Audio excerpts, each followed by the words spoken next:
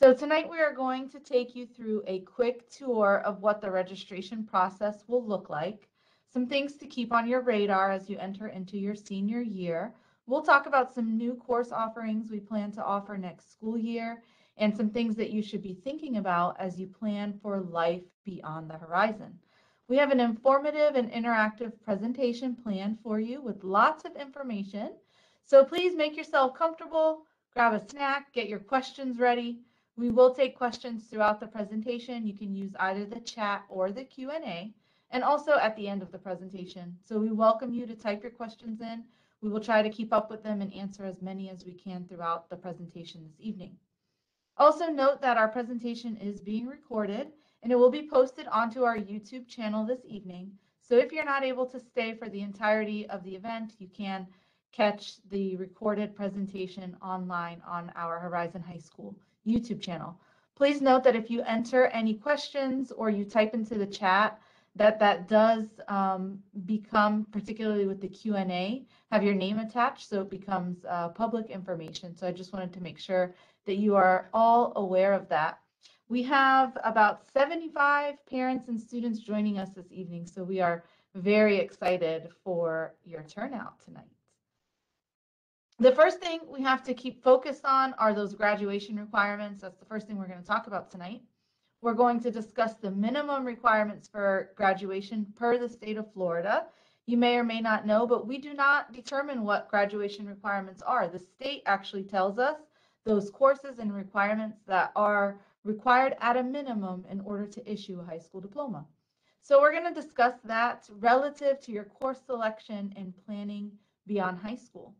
We will briefly discuss things to think about depending on the direction you want to take after high school, including possible advanced coursework opportunities, Bright Futures, what that is, as well as the registration process. So in the poll feature, in just a second, I'm going to open up a poll question, and I'm going to provide a list of graduation requirements. What I would like you to do is in that poll, go ahead and click which of the those listed are not a graduation requirement and there could be one or there could be more than one correct response. So in the poll, go ahead and tell us which of those are not graduation requirements. Again, you can check more than one answer. And you have about 15 seconds remaining to get your responses in.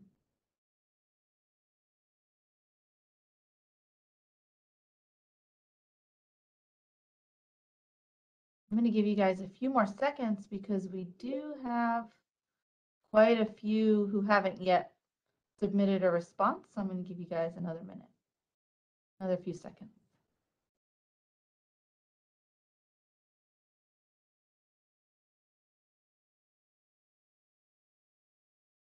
All right, so we had a range of answers. A few of you said that a minimum GPA is not required. And we are going to uh, explain what that minimum requirement is because there is a required GPA. 19 of you selected that two years of a world language is not required. You are correct. And 50 of you out of 83 participants identified that 100 hours of community service is not actually a graduation requirement. And you are correct for those of you who responded. Here on the screen, you'll see a list of the required graduation requirements established by the state of Florida that each student must meet in order to qualify for a high school diploma. As I said before, these requirements are established by the state. We do not have leeway to waive or remove any of these requirements, except for those that the state allows us to.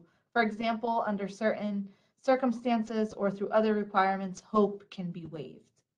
The minimum requirements for credits are shown on the screen. So you'll notice that there's a minimum of four English, four math, three science, three social studies, a hope class, a performing and fine art, as well as eight additional electives. You'll notice that although eight electives are required, if you earn beyond the minimum requirements for a core class, that can be applied as one of your eight elective credits. So for example, let's suppose that you take four science classes.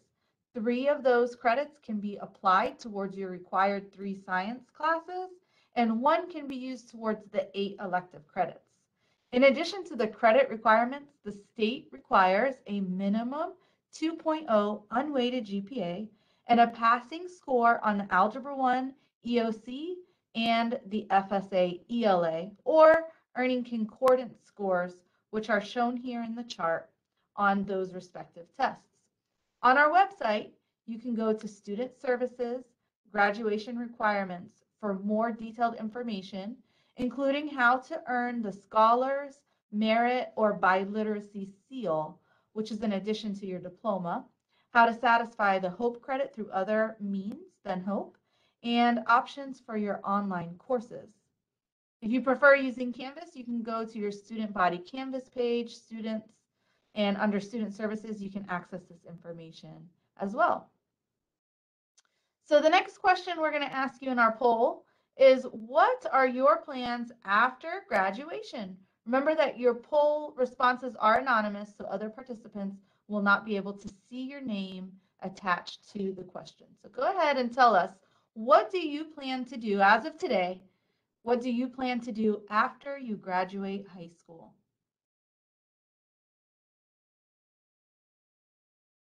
We have about 15 seconds left to respond.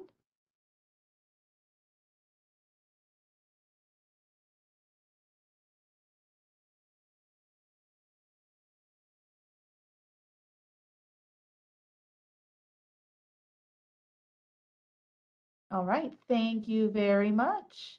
And so out of our 95 attendees, we had 77 responses and 54, so more than half of you have stated that you would like to go to a four-year university. Three of you would like to go to a two-year college, and three of you would like to go to a career technical school. We did not have anyone respond that they want to go directly into employment or the military. We did have one other. So I think that's an interesting response there.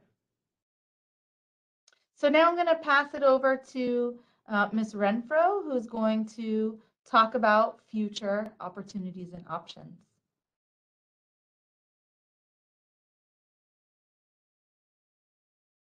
Sorry, I forgot to unmute.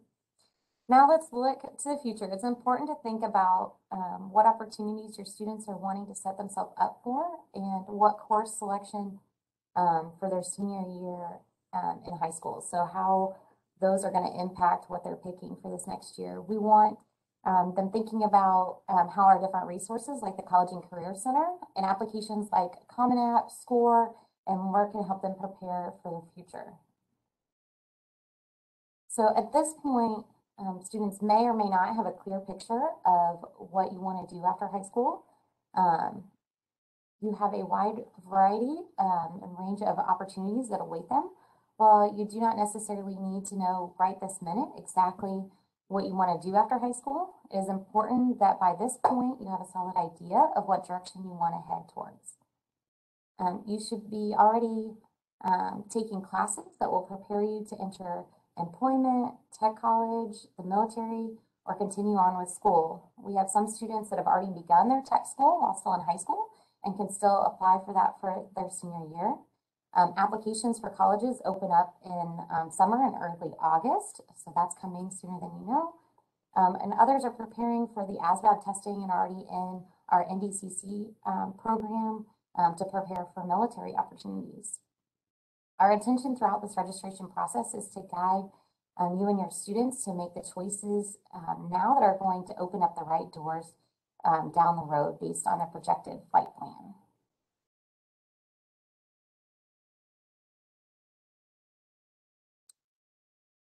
I'm a slide off.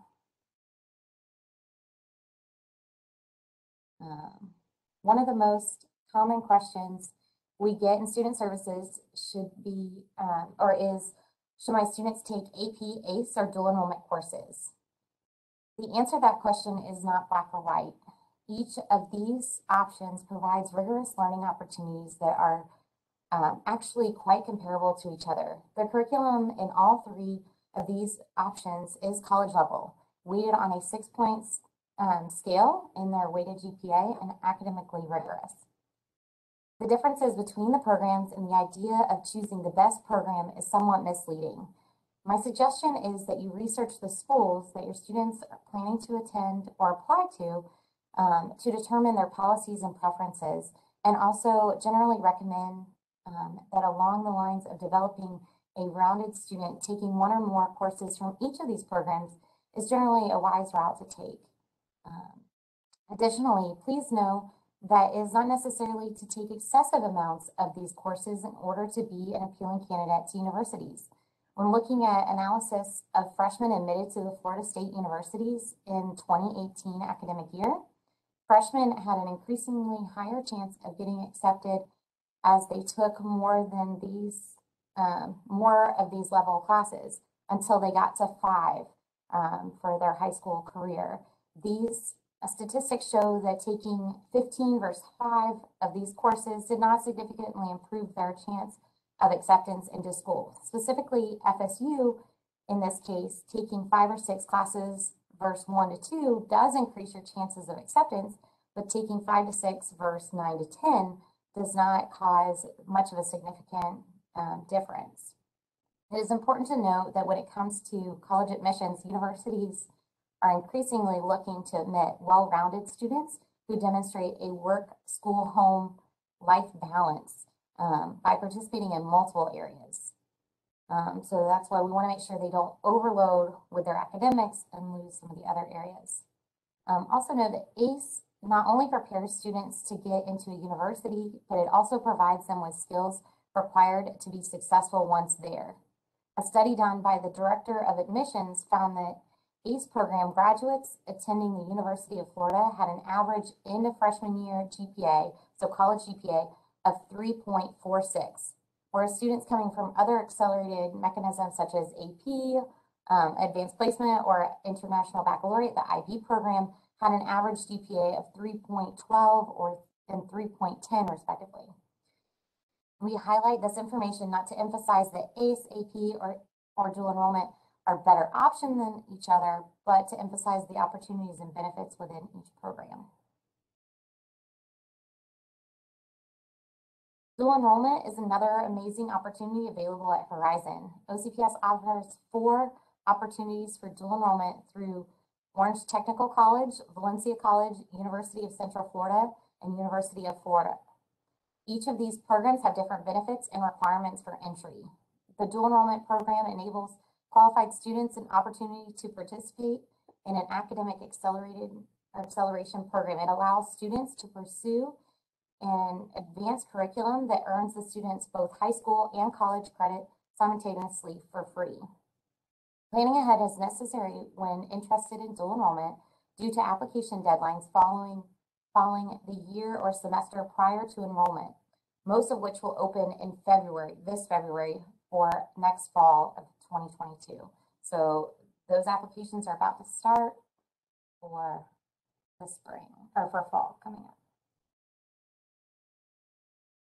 If college is a likely route, um, and it sounds like from our polling, a lot of students are going that direction, um, I highly encourage you to review the requirements for the Bright Future Scholarship. The Bright Future Scholarship is a scholarship available to all Florida residents based on completion of specific requirements. Please familiarize yourself with the testing, GPA, and course requirements as this opportunity is a wonderful chance to attend college with the majority, um, if not all, of your tuition and fees covered. Additionally, note that if you complete the Cambridge diploma and 100 hours of community service, that you will automatically qualify for the highest level of Bright Futures Scholarship, regardless of test scores or GPA. This is a huge opportunity that I encourage you to really think about and discuss with your parents.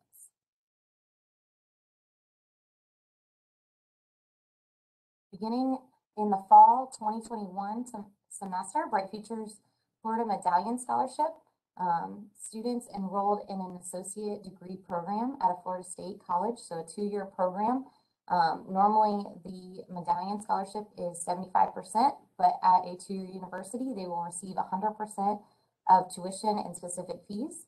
Upon completion of their associate degree, their two-year degree, a student can then use his or her award to pursue a baccalaureate degree, their four-year degree, and receive the 75% of tuition for the those next two years. This is an incentive for students who might otherwise go directly to a four-year university with seventy-five percent scholarship to have that hundred percent of their tuition covered for the, um, by first routing through the two-year school. Thank you, Ms. Renfro. For many students, as we saw in our poll, or the results of our poll, going directly to a four-year university is a direct aim and objective for various reasons. For some, the goal of getting directly into a four-year university presents an accomplishment that they set out to achieve with sights on early. For others, the idea of attending a big name school is an allure that gets them excited. And for some students, the idea of leaving home to a faraway school is exciting. Still yet, other students appreciate the extra time or benefit of saved expenses by attending a two-year local college prior to university. I think it's worth mentioning here that attending a two-year college should not be looked at as a step backwards, downwards, or otherwise negatively. Some students will quickly dismiss this option and keep their sights solely on directly attending the, a university. And I think it's important to mention that in terms of the end goal, which for all students pursuing a four-year university degree is a bachelor's, at least in the immediate sense of it, or even if it's beyond, the two-year college is a great option. I share this because I have seen many students, just last week I spoke prior to break, I spoke to a student who was putting an extreme amount of pressure on himself to get accepted into a specific four-year school. And the reality of the situation today is that it is extremely competitive and expensive, even if you are admitted, to attend a four-year university directly. So while I do not want to discourage any students from applying or seeking admission into a four-year school, I think that it is wise to leave the door open to the possibility of attending a two-year school prior to going to a four-year university. I think that it's a great option that shouldn't be dismissed too quickly and I think that today we see a lot of young students, young people putting a lot of pressure on themselves that sometimes can be very negative for them um, to get into a four-year school. So I think that leaving this door open can alleviate some of that anxiety that students sometimes uh, put on themselves. Additionally, as Ms. Renfro just stated, if a student earns the 75% Bright Future Scholarship and they attend a Florida two-year community college, the state will pay for 100% of their tuition while they attend the two-year college. So I think that that's a pretty cool bonus. To put the competition with admissions into perspective, um, from the 2021, fall of the 2021 year, this past year, at the University of Florida, there were 52,513 freshman applicants to the University of Florida this past year. Of those 52,000 applicants, 14,561 were admitted. That represents just over 27% of the applicants to the University of Florida were admitted. And the numbers are comparable in the other state university uh, schools. So here, what I have on the screen now is the 2020 Abridged Florida State University System, or SUS matrix. This table shows the average GPA SAT and ACT scores, as well as application deadlines for each university in the state of Florida. Notice that the GPAs are quite high and they are weighted GPAs. You know that they're weighted because they go above a 4.0. So right off the bat, that tells you that they are weighted. And also notice that the GPAs shown here are not the same GPA that you will see on your transcript or in Skyward when you look at your weighted GPA. The GPA shown here is a recalculated GPA that the university calculates when you provide your transcripts during the application process. Every university will recalculate your GPA based on their own standard so that the GPA calculation is consistent for all of the applicants. Normally, when you apply to a state university, the GPA that they are going to calculate is going to exclude your elective classes so that's something that you want to keep in mind. Your elective classes may be boosting your GPA. They may not. Sometimes even if you have A's in elective classes, they can they can uh, cause your GPA to actually be lower. So in some cases it's a benefit, but in some cases your GPA may not be exactly what you think it is based on how the university calculates it. So it's important that you use this matrix as a guide to compare what your GPA and your test scores are along with the average scores of admitted students. Also, it's important to keep in mind that students are admitted every day and every year with GPAs and test scores outside of the ranges shown. So it these ranges do not mean that you have to have the GPA or the score shown in order to be accepted. However, knowing the average score is a good way to gauge where you stand compared to other applicants from years past.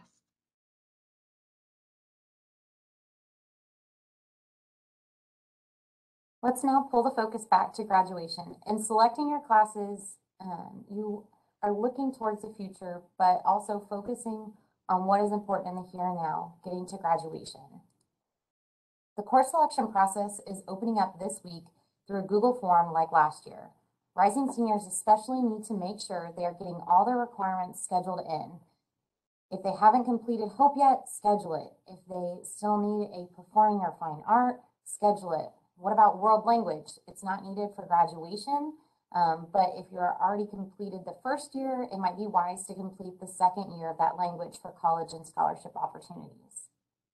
World language is a great point to speak to um, because although it's not required for graduation, if you are one of those students that's trying to go directly into a four-year school, um, chances are if you don't have two years of the same language at any level, so it could be level one and two, or if you skip to level three and four, then uh, that would be fine as well. Chances are that if you don't have that, you will probably not be accepted into university. Again, that's not a hard requirement, but it is a common soft requirement that we see if students are not taking those two years, it's going to be difficult to get accepted directly into a four-year school. And also, if, if they go to a two-year college like Valencia, if they don't already have their two years of language, they'll have to do it as part of their two-year program before they can move on and, and complete their two years of college. And it's a requirement for bright futures and other things. That's why I say the scholarships.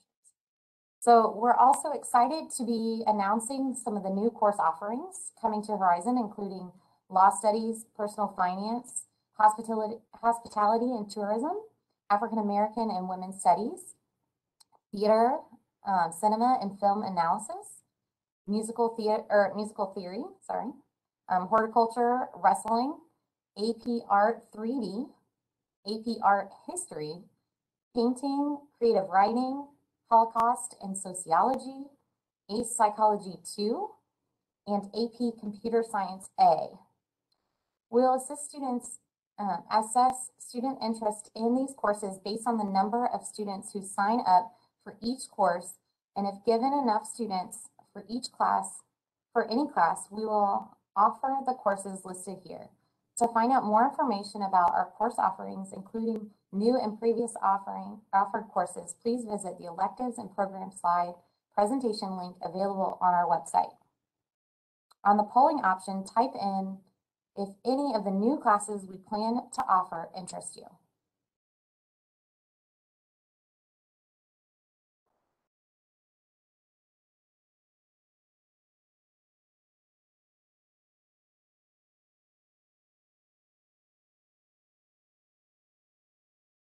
We have about 13 seconds left to get those responses in. I see quite a few in progress.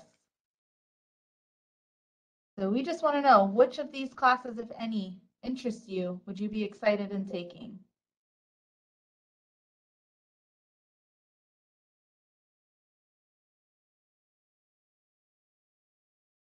All right. We have a variety, so students interested all over the place. It looks like personal finance takes the cake though, so we have quite a few interested in personal finance. Very cool. So to access our presentation of electives, as Ms. Renfro said, we have a presentation on our website that has a slide for every elective and course that we'll offer next year.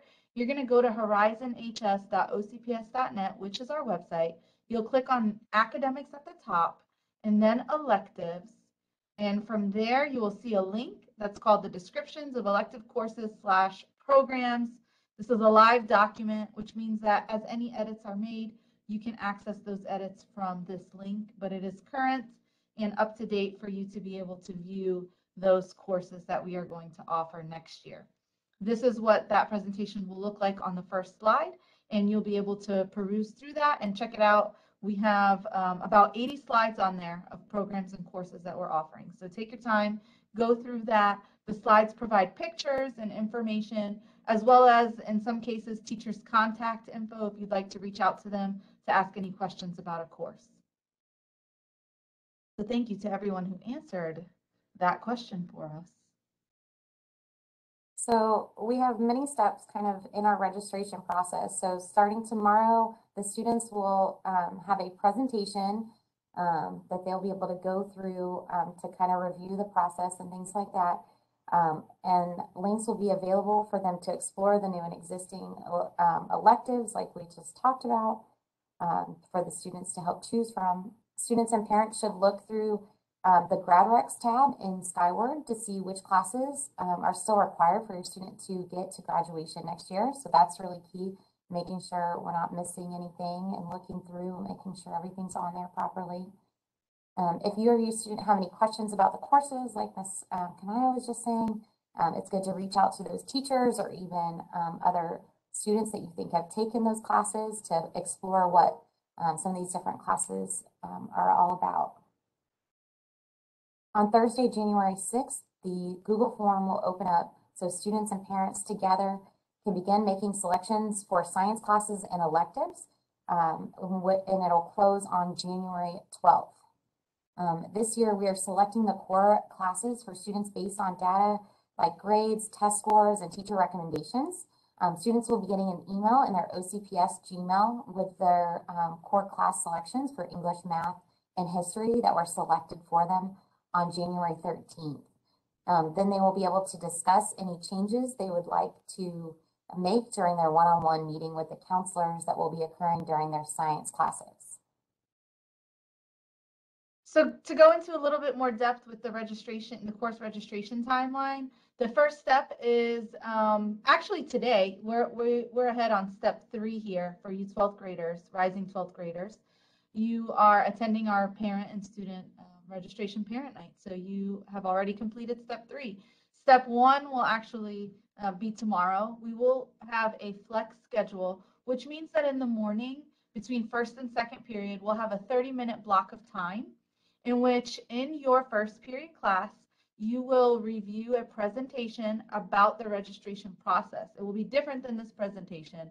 It's a Nearpod, an interactive Nearpod that you'll go through and um, click through and listen to the presentation completed by your counselors about the registration process and the details of it. You will be able to access this presentation through your student body canvas and your first period teacher will also provide the link for you. After reviewing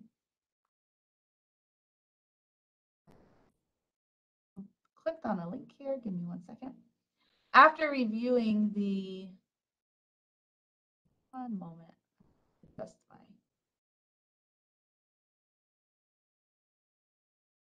My slides. It's taking me to link here. One moment. Okay. So after reviewing the presentation in your class tomorrow, you will review the electives and program slides uh, presentation that we shared with you you will automatically be taken there. That's where it actually linked me to right now after your Nearpod is completed. As I said, we've already done step three. Step four is that you will review the registration form and complete it along with your parents between the 6th, which is Thursday, and January 12th. So the link will be provided to you via your email and also on our student body canvas page at 7 p.m. on this Thursday. At that time, with sometime within the following week, we ask you to reserve about 30 minutes with your parents to complete that form together. In that form, you're going to select your classes, your elective classes for next year. Note that you will choose your elective classes and you will choose your science class.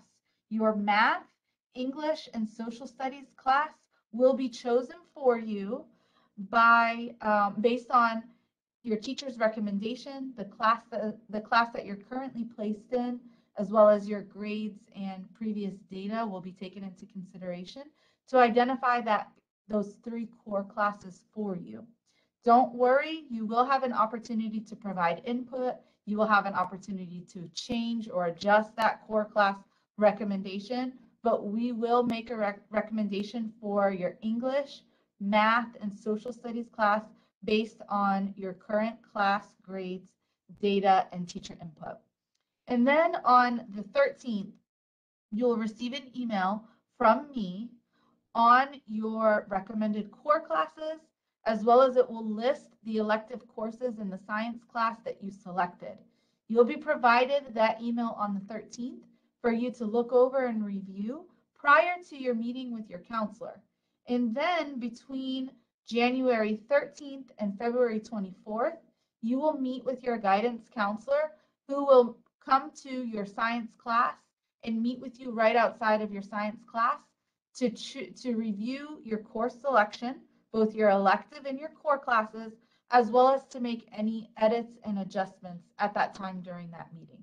So as I said, we'll choose the core class, but when you come to sit down with your counselor on that day or when they come to sit down with you in your science class, you'll be able to adjust any of the classes that were selected. And then step seven is that in early March, after our counselors have met with all of our students, we will send an email to your OCPS student email with your tentative course request, including any adjustments that were made to your core or elective choices. Now, when I'm referencing that you'll receive an email, keep in mind that all email we send is going to the student's OCPS email. That's your, your Google email. So it's important that you're checking that daily and that you're monitoring your OCPS email because that is our primary method of communication with you. Now, we will visit you, as I said, through your science classes. And so we have a schedule that we will be coming to your science class to meet with you. And so you can see that here on the screen. Find your science teacher, and then you'll know that you're going to meet with your counselor on one of those two days that are assigned to your science teacher. If you are a dual enrollment student or you do not have a science class on campus, your counselor will contact you sometime in the month of January or February to schedule your meeting with you. So don't worry, we have a system for keeping track of all of the students that we meet with. And if we don't get you through a science class, we will contact you for that meeting. The registration form looks like this, at least the first page of it. So this is what it will look like. It is, as I said, a bit long. It will take you about 30 minutes to complete that. And we ask that you complete it along with your parent. Please read all of the notes and information that is provided here. I know sometimes students will skip over that, but we do provide important information. And it's important that you take the time to read through it. Throughout the form, you will find notes uh, that are important for you to read. And we also include on the very top of it the links to our curriculum guide, which is linked on our website, as well as that elective presentation that we discussed earlier. So that is all the information that we have to share with you today. And if you have any questions, we would be glad to take your questions at this time. Please feel free to um, enter them into either the chat or the Q&A, and we will be happy to answer those questions. Are we able to share the slides with parents? The, this presentation is being recorded and it will be posted to our YouTube channel so you can follow the slides along through our YouTube channel. And uh, Christina asks if it's possible to sign up for the PERT test. I don't recall the deadline, but what you can do, Christina, is reach out to Miss Ambrose. She is our college and career specialist, and she'll be able to answer that question for you. And I will go ahead and type her email into the chat for you to reach out to her directly.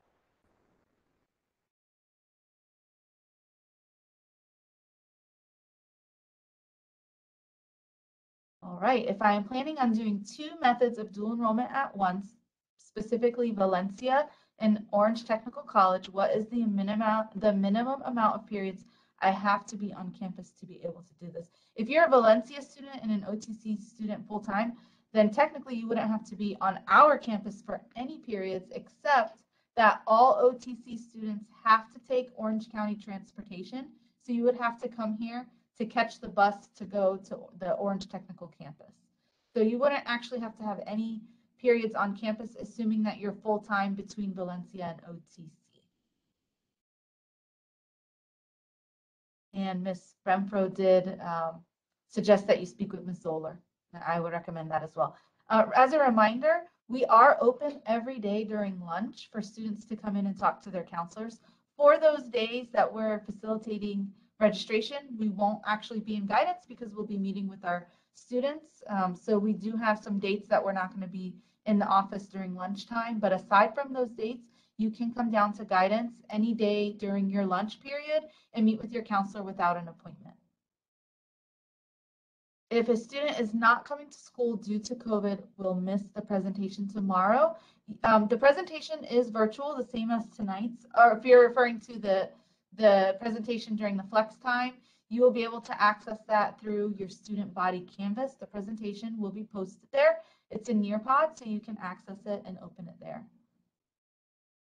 And we will have this presentation posted this evening on our YouTube channel. And we are being asked if the hospitality course is a level one or two. Next year, we will offer both level one as well as level two hospitality. So if you have already taken level one, you just have to sign up for hospitality. That's a, an excellent point to highlight is that on our course request form, we did not list levels. So what that means is that if you are in any pathway or course that progresses, for example, let's say you've taken drawing one this year and you want to go to drawing two next year, or you've taken hospitality one already and you want to go to hospitality two, or you've taken Spanish three and you want to go to Spanish four. You do not have to sign up for the specific level. You just sign up for the course that you're interested in, the content. So you would just sign up for hospitality and we will place you in the appropriate level based on what you've taken so far. Um, Christina, for any student who's not at school to participate in that presentation, they can access it on their student body Canvas page directly in Canvas. Um, and I'm being asked if students are given a full schedule until they know they have been accepted into dual enrollment. And that's a case by case, Melissa. Um, it's really going to depend on the, the student's GPA and where they stand in terms of the application requirements. So what we do is we look at um, the students that are applying to dual enrollment, we look at where they stand in terms of their requirements. And if they meet all of the dual enrollment requirements, we won't necessarily give them a full schedule. But if they're sitting on the border, we are going to give them a Horizon High School schedule. And then once they're accepted into the program, we will adjust their request at that time. And Maria asked if students can do Valencia and Orange Technical College. And yes, you can. You can do both programs at the same time, or you could do Valencia and UF or Orange Technical and UF or any combination. We have students that do that all the time. Um, Jan- Janice asks if students are automatically registered for the SAT on the school test date on March. And yes, they are. Students are automatically scheduled for the school test date in March. And I have another question asking if it's better to take UF dual enrollment versus Valencia. And that is not, Nyla, going to be a black and white type of answer. Um, we, it's going to depend on what you want to take. I can tell you that the UF classes are known to be quite difficult, um, but I can't tell you that one's better than the other. They have different requirements um, for admission and to be able to take them. I believe UF only allows students to take six credit hours. Ms. Renfro, you can correct me if I'm wrong on that, but I think that they have a, a lower threshold on what they allow. So often students who take du- UF dual enrollment also take Valencia dual enrollment classes. So you don't have to do one or the other. And Um, And I also, had a question. UF is only online, so you have to make sure that's a good That's um, true. option for you too, because you want to make sure you're successful in your college classes because you're starting your college GPA. So that's a big part of it too. That's a great point. All of the UF classes are online. These days, the Valencia classes tend to be online, but normally students are able to go to Valencia to take their classes. And we do not have a bus that takes students to Valencia, Dahlia. That was a question that was asked. Um, we have a bus that takes students to Orange Technical College, but to Valencia, students are required to provide their own transportation, unless, of course, they're taking an online course, in which case Um, they would have a period at home and they would be able to take that course online at home. Um, Caleb is asking if AP or AICE chemistry will be offered. Caleb, we will offer AICE chemistry next year. We do not plan to offer AP chemistry or biology. We will continue with AICE chemistry as well as AICE biology. Um, and Janice asked if we can review how to submit community service hours. On our website, Janice, if you go to student services, there's a tab that says community service, and there's a link there for students to submit their community service proposal as well as their completed hours electronically. So everything regarding community service is handled digitally, and you can access all of those links on our website under Student Services, and you'll find a Community Service tab. A question is being asked about the requirements to do, do UF dual enrollment. And I am going to go back to that slide and put it on the screen for you because I believe we had the requirements posted here. Yes, we do. So Also, for UF, Um, on our website as well to all of the dual enrollment pages. Um, and so that's also a great way to go under the Horizon website on the academics tab. They can go to dual enrollment and there's a link to each of their pages, um, to help you, um, look through the requirements as well. Thank you. Yes, so you can, each of these schools has a dual enrollment specific website. So you can just Google UF dual enrollment and get directly to their page, which has lots of information. But we've posted the requirements here. Um, it requires, they require a three point six unweighted GPA. And Remember, they will calculate their GPA for you based on their criteria. And they have a requirement of a PSAT of eleven hundred or SAT of eleven thirty. And UF is only available for juniors and seniors, uh, which, which you all, um, I'm assuming here tonight are going to be seniors next year. And um, we had a question asked if our school is providing any SAT prep tutoring sessions between now and March. Um, Miss, Dr. Hammonds, would you mind speaking to, to that? I know that we have um, a specific uh, course for um, students that had been invited to participate in a couple of sessions. It's not a full-on um, prep course, but there are a select group of students who have been uh, identified and invited. But no, we don't have a blanket SAT prep course. But what I can tell you is that we do encourage students to utilize Khan Academy. And there is um, significant research through the College Board in which they are able to show a strong correlation between students' time on Khan Academy. I believe it's 20 hours, but I, I don't want to be quoted on that. Um, that shows a 100 point gain on the SAT. So if it's not exactly that, it's pretty close. So I strongly encourage our students to take advantage of using Khan practice as SAT prep. And all of our students have access to Khan. So through their Launchpad, they can find the Khan Academy and access um, that practice that way. Dr. Hammonds, is there anything else that I missed in regards to that? Uh, no, I believe you covered everything, um, in regards to that. Um, so we do have some SAT prep, but it is specifically for, um, a targeted group of students. Those parents will be receiving communication in regards to that, um, in the next several days. Thank you. And we had another question about community service that I got my community service hour proposal verified before break, but never submitted them to be put into Skyward. Is it too late? I'm not sure exactly what you mean, Nyla, but you can, it, it's not too late, whether you've done them or you're still, um, you still have the proposal. You can go ahead and access that link and submit it there online, and I don't think it should be a problem. Is there, is there any place where I can find information about getting into universities outside of Florida, let's say New York or Boston, something that informs minimum GPAs? That's a great question, Anna. And we have a program through Students Launchpad that is called SCOIR, and that's S C O I R. All of our students have been shown how to access SCOIR, which is a great resource for them to utilize to research any school in the United States for the most part. You can find lots of information. You can do in an, um, an interest, career interest inventory. You can type in uh, any criteria that you want to look for related to school. You can search um, which school has a renowned basketball team, and they will pull up schools that match that criteria for you, or which school has um, a strong hospitality uh, program, and they'll pull up schools within the United States that meet those parameters. So yes, use SCOIR, S-C-O-I-R, through your Launchpad to search for any criteria and get information about schools throughout the United States.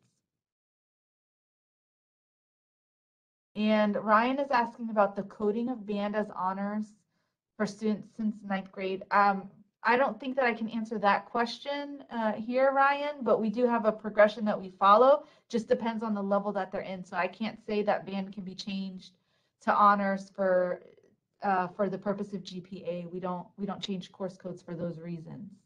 It is strictly based on placement level.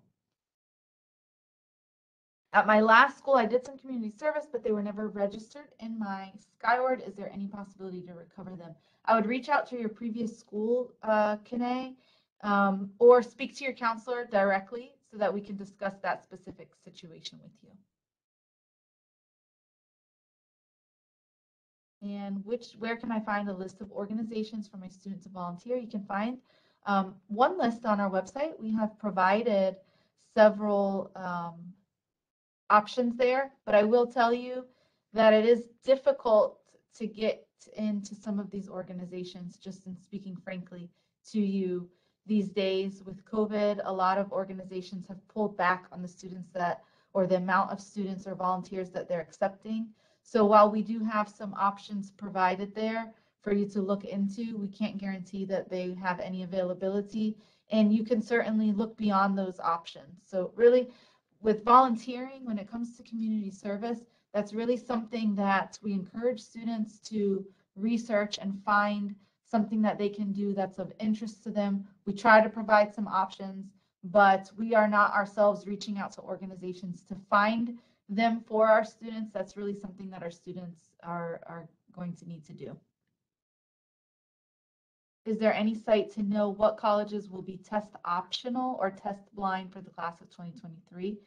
There's not a specific site that I know of. I don't know if Ms. Renfro, you know of a specific site, but if there's a specific school that you're interested or curious about, you can just Google that school to find out if they will be test optional for the class of 2023. Yeah, I, I think reaching out to the direct school that you're looking at applying to would probably be your best bet because some of that stuff has changed from year to year and, and so many things with that. So I think that's gonna be one of your biggest, um, ways to, to really figure out for the places you're applying. Um, and Ms. Kanaya, did you see the one from Angie about, is there a parent senior group? Is there a parent, say that again? It's, it says, is there going to be a parent senior group? Um, some ways for parents to communicate, celebrate, like banners, parking spots, prom, like ways for them, I guess, to help be a part of some of that or setting up things. Normally, our PTSO will, um, will start a senior group um, as we get closer to our senior year.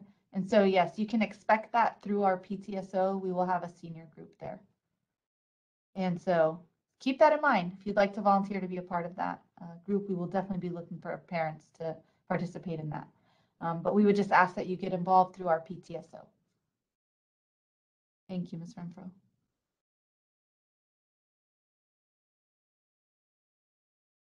Can we retake the PERT? Yes, you can retake the PERT. Um, it can be taken, I believe, once per month. We will offer it two or three times on our campus, but students can additionally take it at Valencia. They can go there themselves and take the PERT. And so, yes, you are able to retake it. And typically, Valencia will extend the test requirement deadline later than the actual application. So the application deadline usually closes on March 1st, usually opens February 1st and closes March 1st for the, the fall term of the next year. So that would mean fall of 2022. Um, but normally they'll allow students to continue to earn test scores, usually through April or May, after the, the application deadline has closed. Um, I do want to note to be careful if you go take your PERT over at Valencia, um, because they are limited to only allowing you to take the PERT three times in a two-year span. So just make sure you're taking your um, test chances seriously if you're going over there, um, so you don't use them all up and then get stuck. Do you have any questions about the registration process at this time? Completing the registration form or how you will do that?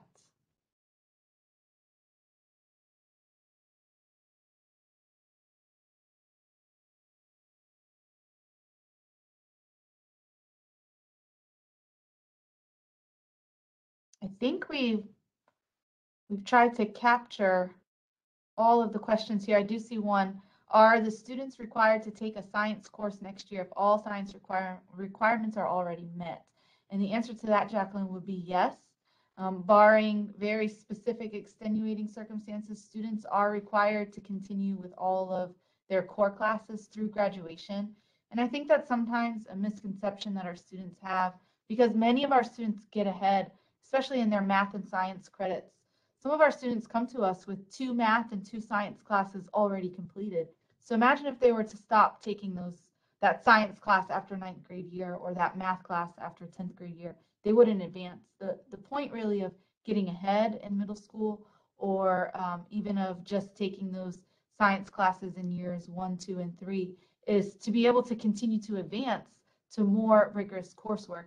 And I can tell you that one of the strongest um, feedback that we get from admissions officers for students who are otherwise very high achieving, have high GPAs, and high um, performance in their classes is that they do not continue taking core classes through their senior year. That's a huge misconception that I have seen over the years many students have is that it's my senior year, I've met my graduation requirements, I don't need to take a math class or I don't need to take a science class, I can just kind of cruise.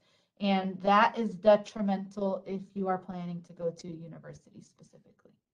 So I strongly encourage you not to do that. Even if you're not planning to study science um, at the university, you still want to be taking a science class or whichever other subject we're talking about. Yeah, I think these extra math and sciences help strengthen your skill set for the future classes that you'll be taking. You never know how they'll come back into play. I think it's always wise to keep taking all of those subjects. Well, I think that we've pretty much answered all of the questions that have come through. And we are always more than happy and willing to take any other questions that you might have if you reach out to us directly or come see us during your lunch. We're in the 800 building in the guidance office. We welcome you to come down here and talk to us. All of our counselors and myself, we are also, um, we are all in the guidance hall. And parents, we do have walk-ins every Thursday from 8:30 to from, um, excuse me, from 8 to 10:30. So no appointment is needed. You can come in um, anytime during that time frame, 8 to 10:30 to meet with your counselor. Please do note those dates, however, that we're doing registration meetings with our students during science classes because we won't be in our offices at that time. But otherwise, you are welcome to come in and meet with a counselor every Thursday from 8 to 10:30 without an appointment. And so um, thank you all for being here this evening. We are so excited that we had so many participants and thank you for participating in our polls. Once again, remember that this presentation has been recorded so you'll be able to access it on our YouTube channel as of this evening. Thank you all again and have a wonderful evening.